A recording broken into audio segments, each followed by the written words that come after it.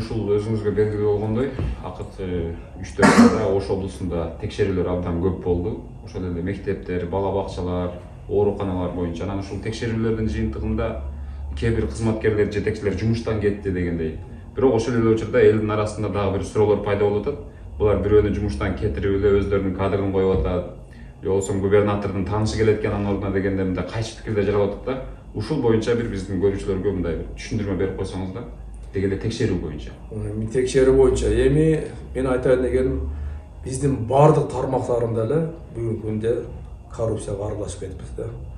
Анан эми азыр бүгүнкү күндө жаңы бийлик келип жогору жактан коррупцияны баштап атпайбы бул жакшы көрүнүш бирок мен келип ушул айыл жеринен ылдыйдан коррупцияны баштасак жакшы болот деген азыр сунуштарды айтты. Ошондуктан ошонун негизинде биз текшерүүлөрдү уюштуруп атабыз.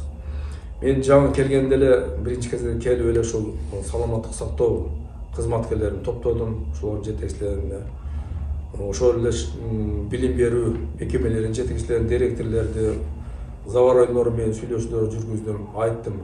Баардыгыңыздарда бүгүнкү күндө коррупция бар депчи. Эми мен билгеним боюнча эми кайсы жерлеринде бар?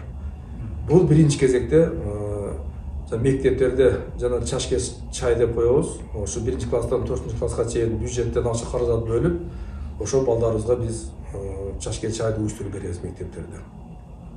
Андан тышкары азыр жылуу тамактан тамак деп ысык тамак деп дагы мектептерде дагы бар. Ол ата энелердин жардамы менен кээ бирлик жанагы коммерциялык эмес уюмдардын же фонддордун жардамдары менен ошо ысык тамактарды дагы уюштурган мектептер бар да. Ошол жерлерде дагы ушундай көрүнүштөр бар. Мен жакшы билемин мисалыга ошого акча каражат бөлүнгөн акча каражат ошол толугу менен ошол жерге жумшалбайт дагы. Ал кимдердин бир чөнтөгүнө кетет мисалы ошо тендер өткөзгөндөрдүн чөнтөгүнө кетишет.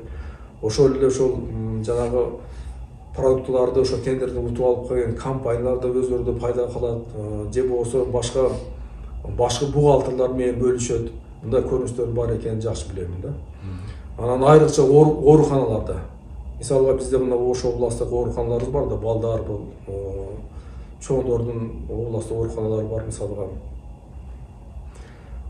ушул ушул жерлерде дагы мисалга тендерден өтүп утуп өтүп мисалга бир айда үч жүз килограмм эт келе турган болсо мисалы бир эле мисал ошо ооруканагачы болгон ал ооруканага болгон бир элүү килограмм же алтымыш килограмм эт келет калганы жөн эле кагаз түрүндө келди болот да акча каражаттар баардыгы бөлүнүп алат бухгалтерлар менен бухгалтерлар менен ошол областтын жетекчилери менен жанагы тендер уткан компанияларда пайданын баардыгы ошолордо калат да көпчүлүгү ошолор менен байланышып болот да. Анан ошол элүү килограмм бир айлык тамак мисалга кандай сапаттуу тамак биз даярдай алабыз андачы сапат тамактын сапаты деңгээлинде жок ошондуктан жанагы ошол жерде ооруган бейтаптар ал жерден жакшы тамак иче албай кыйналып көрүнөт. Ошондуктан мен азыр тапшырманы бердим. Ошол келген продукциялардын баардыгын мага онлайн түрүндө канча ооруканаларда канча продукция келсе бизге маалыматта берип тургула деп тапшырмалар бердим. Анан эми кудай буюрса бул жактан бизде текшерүүлөр болот биз азыр эми ушул текшерүүлөр ошондуктан мен ооруканаларда баштадым андан тышкары ушул ооруканаларда мисалга жанагы биздин бейтаптарыбыз барып оорукан кезде акча талап кылып аткандарын көп кездештик да мисалга мына областта төрөт үйүнө текшерүүгө барганда ошол жерден бизге айтылды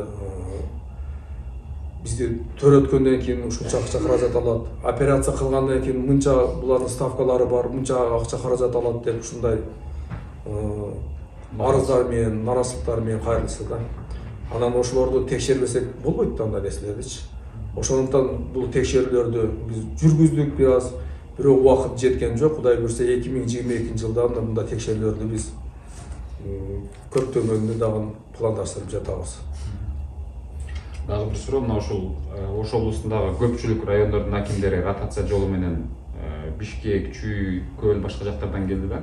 Ушул ротациянын эффективдүүлүгү кандай болуп атат мисалы бул акимдердин бул жерде таанышы жок агайыны куда сөөгү жок дегендей да. Эми ротация болгон бул эң бир туура болгон экен. Себеби дегенде булар келгенден кийин жана өзүңүз туура белгилеп кеттиңиз бул жерде булардын тууганы дагы жок экен жердеши дагы жок экен куда сөөгү дагы жок экен чынын айткандачы. Анан булар түздөн келип эле ушул ишке берилип эч кимге биз көз каранды болбостон же болбосо бир мурдагыдай жакын адамдардын айткан сөздөрүнө кирбестен булар өз иштерине алып келип баратат да мен айтып коюшум керек бүгүнкү күндөгү ушул жети райондо иштеп аткан акимдердин баардыгы жакшы иштерди алып барып атат жакшы иш жүргүзүшүп атат айрыкча ушул бюджеттик акча каражаттар эмес өздөрүнүн ошол айыл райондо жашаган же айылда жашаган жанагы биздин бизнесмендерибиз бар ошондой ишкерлерибиз бар. Ошолор менен дагы ушул уюштуруу иштерин жүргүзүп канча километр жолдорду басып атат жаңы мектептерди ачышып атат ошолордун эсебинен көптөгөн жакшы иштерди жүргүзүп атат. Демек бүгүнкү күндө ошол ротация жакшы бир өзүнүн пайдасын берди. өзүнүн пайдасын натыйжасын берди деп айтып кете алам.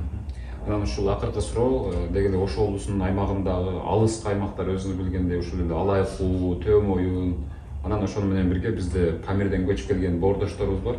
Алардын жашоосу кандай болуп атат дегенде алыскы аймактар жана памирликтер боюнча кыскача айта кетсеңиз эми памирден келген биздин ушул кыргыз боордошторубузга бардык. Мен барып ошол алар менен жолуктум. Чындыгында эле биздин президентибиз садыр нуркожоев тарабынан ар бир үй бүлөгө бирден саан уй ондон кой бир жылкы алып берген экен анан барсак ошол эми ал тиги жай мезгилинде берилген да. Ага короо керек экен мындай себеби кыш мезгилинде аларды карабасак. Мисалга ал жерде алай районунун ошол сары могол деген айылында кыш мезгилинде шарт оор суук болот ошондуктан тез аранын ичинде мага чейин эле бул жерде жетекчилер тапшырма берген экен ошол короо жайларын куруу боюнча бирок мен келип ошолорду аяктаганга күбө болуп калдым ошолорго тапшырма берип аяктатып ушу короолорду курдуруп бердик да андан тышкары анан карасам кыш мезгили келип келатат аларга тоют керек кыш мезгилинде каяктан таптойт анан мен ошол акимдерге тапшырма берип өзүбүз акча каражат таап ошол тоют маселесин чөп маселесин мен толугу менен чечип бердим бүгүнкү күндөчү анан андан тышкары эми алыскы биздин айыл өкмөттөрүбүз бар айылдарыбыз бар бул алай куу районундагы ушул алай куу